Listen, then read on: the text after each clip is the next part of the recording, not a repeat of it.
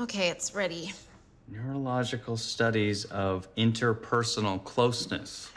My dissertation. So romantic. So I did a spreadsheet. Wait, to, wait, wait. We have spreadsheets? Yes, to plot out the times, places, and objectives of our dates this week.